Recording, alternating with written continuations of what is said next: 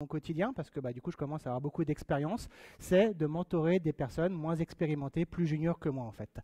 Et finalement en entreprise, euh, quand on aborde le mentorat ou même la, euh, quand des nouvelles personnes arrivent dans une équipe, bah, généralement on vous les refile comme ça et puis débrouillez-vous.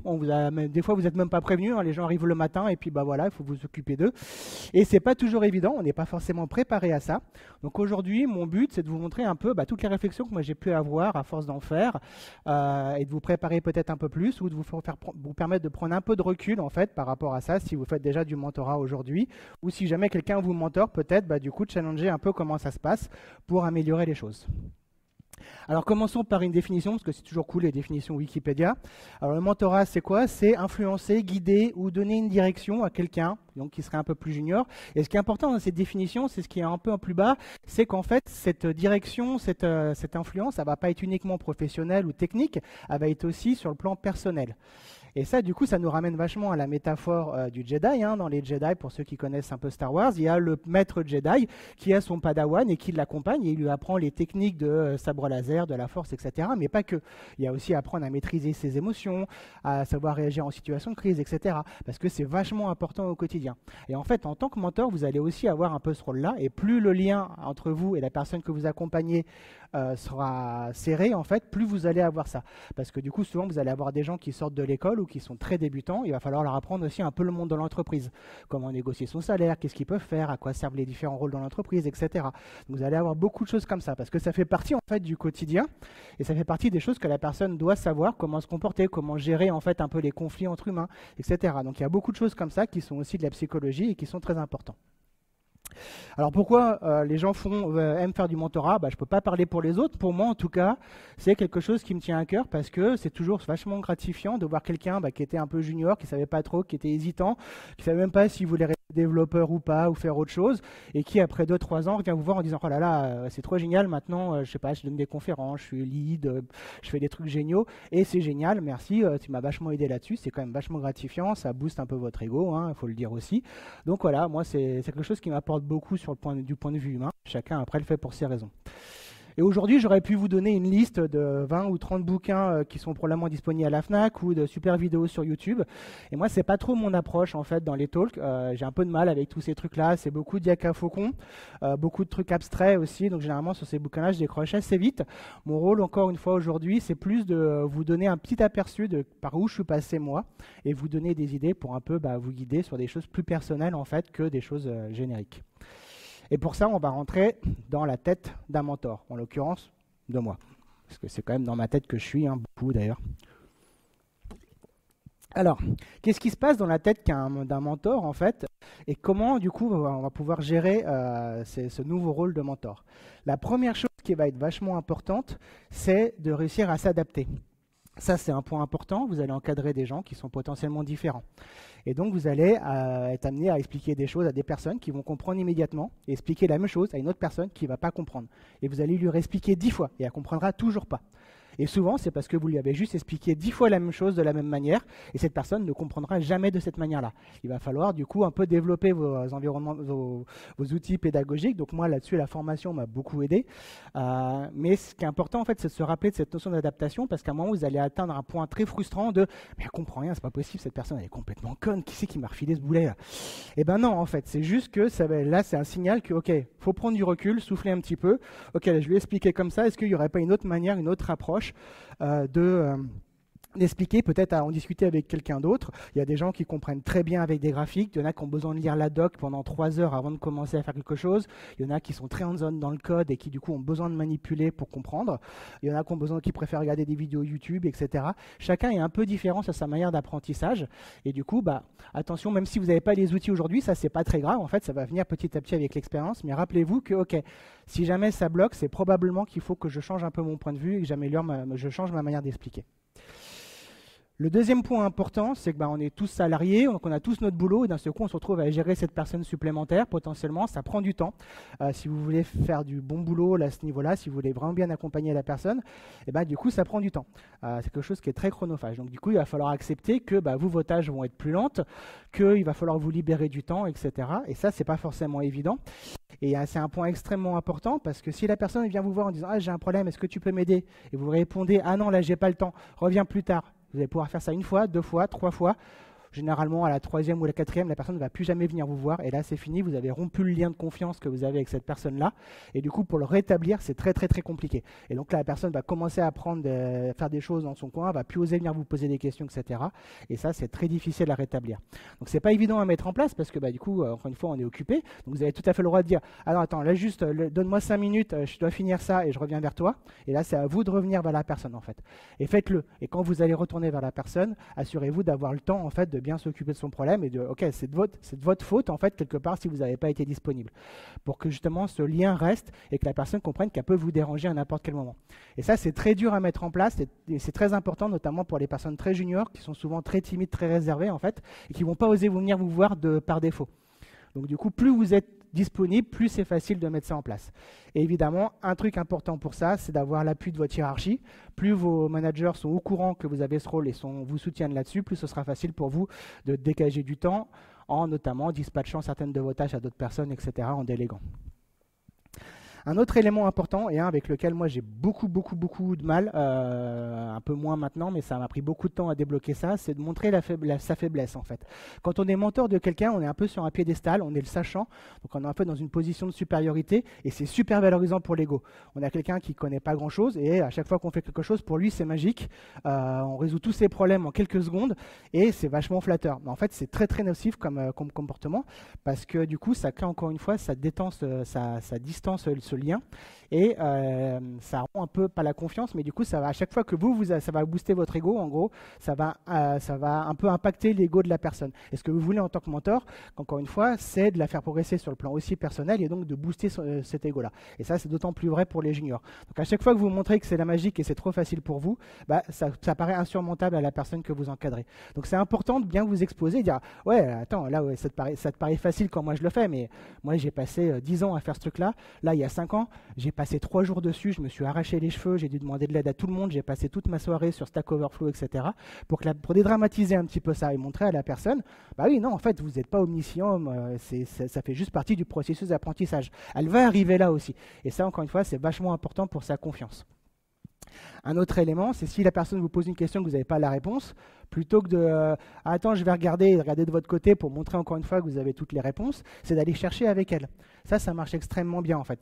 Montrez-lui comment vous trouvez l'information, comment vous triez les bons résultats des mauvais, où est-ce que vous allez chercher l'information? Souvent, c'est ce qui manque en fait aux personnes plus juniors, moins expérimentées. Donc du coup, c'est aussi un moyen de montrer, ok, non, je ne sais pas. Bah, ok, je ne sais pas, allons-y, on va essayer. Donc soit vous allez chercher ensemble euh, dans la documentation, soit vous allez bah, tripatouiller le code ensemble jusqu'à ce que vous trouviez la solution. Pour qu'encore une fois, la personne voie les étapes par lesquelles vous passez et les galères par lesquelles vous passez, qui sont finalement les mêmes qu'elle. Peut plus. Euh, un autre élément, tout un peu lié au fait d'être occupé, c'est qu'il va falloir accepter que tout ce que vous allez faire sera plus lent. Euh, moi, j'ai un côté où si jamais quelque chose me prend 5 minutes et le donner à quelqu'un d'autre prend 2 heures, ça me rend fou. Euh, bah, du coup, là, il va falloir l'accepter. Parce que oui, tout ce que vous allez donner à la personne que vous encadrez sera forcément euh, plus lent que ce que vous avez fait et corollaire sera aussi probablement moins bien fait. Et là, encore une fois, c'est important pour euh, la confiance de la personne de ne pas lui faire ressentir ça. Si à chaque fois vous êtes un peu énervé, un peu frustré parce que bah oui, ça a pris 5-6 fois plus de temps que prévu et c'est pas exactement comme vous l'avez voulu, bah là, il faut prendre sur vous parce que bah ouais, c'est normal, c'est une personne plus junior, elle apprend. Si sa solution est acceptable et qu'il n'y a pas de problème majeur, allons même si elle est, même si elle est un peu moins bonne, c'est pas grave. Par contre, si sa solution est cassée, là, c'est important de reprendre la chose avec elle et de remettre le truc en place, mais ensemble, pour bien qu'elle comprenne que la chose est cassée. Pas reprendre son code, tout refaire et shipper le truc. Là, encore une fois, ça ne servi à rien. Il n'y aura pas d'apprentissage. Donc ça, c'était un peu le côté psychologique, un peu abstrait du talk, pour voir un peu comment moi j'ai pu aborder un peu ces, points-là. Maintenant, on va passer à des, euh, euh, petits conseils plus concrets, des choses que j'ai mises en place, qui ont vraiment très bien marché pour moi et pour les personnes que j'encadrais. La première, ça a été de demander aux gens de s'auto-évaluer. Alors c'est un truc un peu bizarre parce que du coup l'évaluation c'est toujours un peu difficile, donc il faut bien le présenter, il faut bien l'amener. Euh, et ce qu'il faut bien expliquer, c'est que le but de l'évaluation, ce n'est pas le score. Vous prenez échelle de 1 à 5, de 1 à 10, ce que vous voulez, en fait, on s'en fout. Ce qui est important dans, ça, c'est l'auto-évaluation. Comment la personne se voit, comment elle envisage la tâche ou la compétence sur laquelle euh, elle est censée s'évaluer, en fait. Et là, vous allez voir, en fait, comment la envisage, est-ce qu'elle se sous-estime, se surestime ou pas, qu'est-ce qui lui manque comme, euh, concept. Ça va être, la discussion qui est autour est vachement intéressante. Parce qu'en fait, la note en elle-même, vous vous en foutez. Vous allez avoir des gens qui vont se mettre 9 direct, et puis le mois d'après, quand vous refaites l'exercice d'auto-évaluation, ça va être 5 c'est pas grave. Ou des fois, ça va être 5, ça va passer à 9 et puis ça va repasser à 6. En fait, encore une fois, la note, on s'en fiche. C'est l'appréhension que la personne a de euh, ce sur quoi elle est censée travailler, des, skills qu'elle est censée euh, s'approprier. Euh, un autre truc qui a bien marché pour moi aussi, c'est d'être vachement plus proactif pour aller chercher euh, du feedback. Souvent, encore une fois, les gens plus juniors ont du mal à venir vers vous, vous dire là je suis bloqué, c'est euh, assez difficile. Donc moi, comme je change souvent de contexte entre des réunions, des choses dans ce genre-là, je vais aller pinguer la personne, juste envoyer un message sur Slack ou si elle est dans les locaux, aller la voir. Ça va, tu t'en sors. Si vous avez de la chance, vous allez avoir ouais, pas de souci, t'inquiète, je gère, tout va bien. Ok, mais c'est assez rare. Généralement, vous allez plutôt avoir ouais, je pense que c'est bon, euh, ça m'a l'air ok, euh, je te dis ça dans deux heures. Ça, c'est un petit signal de ok, il y a peut-être un petit truc qui cloche ou pas. On va faire un call, une minute, deux minutes, et la plupart du temps, ça va être juste dire à la personne ah ouais, c'est exactement ça, vas-y. Et là, vous leur donnez un boost de confiance, et en fait, ce qui aurait pris deux heures va prendre dix minutes parce qu'elle ne se pose plus de questions, elle sait qu'elle est sur les bons rails. Ou à l'inverse, ah non, là, fais attention, tu as oublié ça, c'est vachement important, euh, du coup, euh, reprends un peu ça, et voilà. Et après, hop, vous la laissez et vous revenez un peu plus tard. Et donc, vous faites ça, alors pas toutes les 10 minutes, hein, évidemment, vous faites ça une fois, deux fois par jour, euh, selon la personne, selon la confiance et selon si vous savez si elle a plus de mal sur la tâche sur laquelle elle est. Un autre truc qui a vachement bien marché pour moi, c'est le pair programming ou le mob programming si vous avez plusieurs personnes que vous encadrez. Euh, c'est assez génial parce que du coup, vous allez vraiment voir comment la personne raisonne. Alors, il faut bien le faire. C'est pas vous prenez le clavier et vous codez tout devant la personne pour lui montrer à quel point vous êtes génial. On a déjà évoqué ça. Ça, ça marche pas. Là, c'est bah, toutes les 10 minutes, toutes les 15 minutes, comme vous voulez, vous changez le clavier et vous expliquez ce que vous faites. La personne explique ce qu'elle fait et vous allez rentrer dans la tête de l'un de l'autre. Et il va y avoir plein de discussions super intéressantes. Et notamment, il va y avoir des, des questions qui vont venir de la personne que vous encadrez, qui sont innocentes, du genre pourquoi euh, tu n'as pas fait ça comme ça? Et en fait, là, il faut se poser la question, pourquoi j'ai pas fait ça comme ça? Est-ce que c'est moins bien? Est-ce que c'est équivalent? Est-ce que c'est pire? Et si jamais c'est équivalent ou pas beaucoup moins bien, bah, ça peut être une bonne idée de l'implémenter, de le faire ensemble montrer, bah ouais, c'est une bonne idée, faisons-le comme ça. C'est pas comme ça que j'aurais fait, mais c'est pas grave. Vous allez peut-être apprendre un truc nouveau. Et encore au passage, vous allez toujours booster euh, la confiance de la personne que vous encadrez. Des fois, la suggestion ne va pas être bonne, et vous le savez, ou vous le savez pas. Ah, pas grave, on essaye, on voit jusqu'à jusqu'où ça nous amène.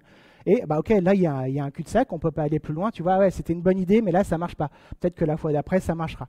Voilà. Donc ça, c'est des approches qui sont vachement intéressantes et qui sont très faciles à mettre en place et très itératives en pair programming.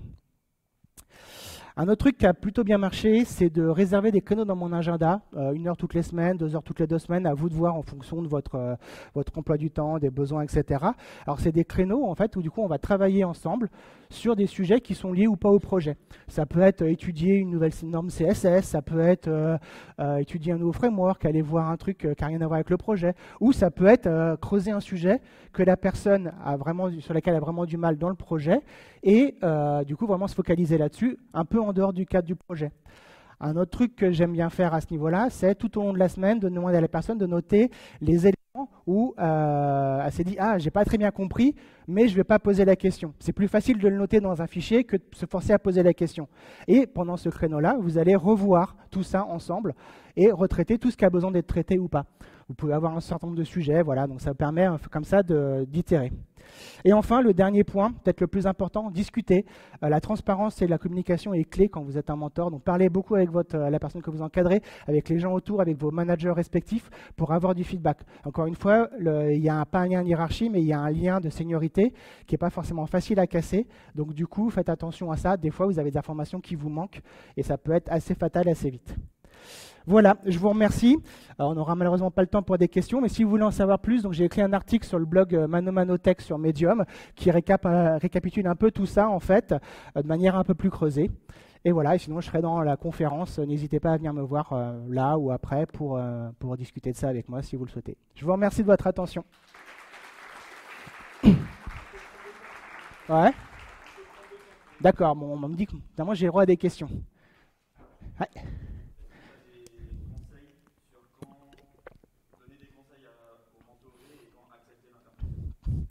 Donc quand est-ce qu'il faut, euh, donner plutôt un conseil ou accepter l'imperfection En fait, de manière générale, tu peux toujours accepter l'imperfection tant qu'elle n'est pas dommageable pour ton projet.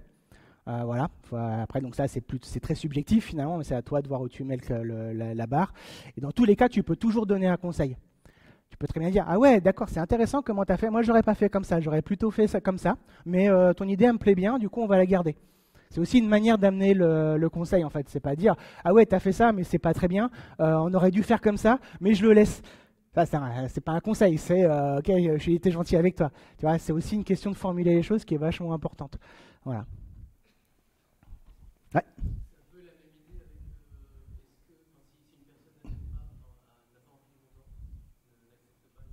Alors si une personne n'accepte pas le mentor, alors là malheureusement, bah, toi ton rôle c'est d'être mentor, tu peux pas faire grand chose. Il y a un moment où bah, tu n'as pas d'autre choix, je pense, que d'en parler avec ta direction. Euh, si la personne ne veut pas être mentorée, que ça fait partie des choses qui ont été identifiées par la par, le, par ton entreprise qu'elle doit être mentorée et parce qu'elle n'a pas le niveau atteint, etc. Bah, malheureusement, euh, toi, ton rôle, euh, sauf si tu es son manager aussi, tu peux pas faire grand-chose à ce niveau-là. Alors après, ça devient du management, en fait, d'humain. Euh, là, c'est un point sur lequel moi, je suis pas très très bon ça m'intéresse pas plus que ça. Il y a des moyens d'aider à débloquer un peu ces situations-là avec des, systèmes de psychologie, mais ouais, c'est des situations difficiles. Et là, à un moment, bah, il faut se poser la question est-ce qu'en changeant de personne, déjà, est-ce que ça aide ou est-ce que c'est la personne qui est complètement réfractaire? Et je dirais une personne qui est réfractaire à être mentorée, donc à apprendre et à s'améliorer, dans notre boulot, dans le contexte actuel, c'est probablement pas une bonne idée de la garder. Mais euh, après, ça, c'est à chaque entreprise de voir comment elle veut gérer ce cas-là en fonction de tout un tas de contraintes. Ouais.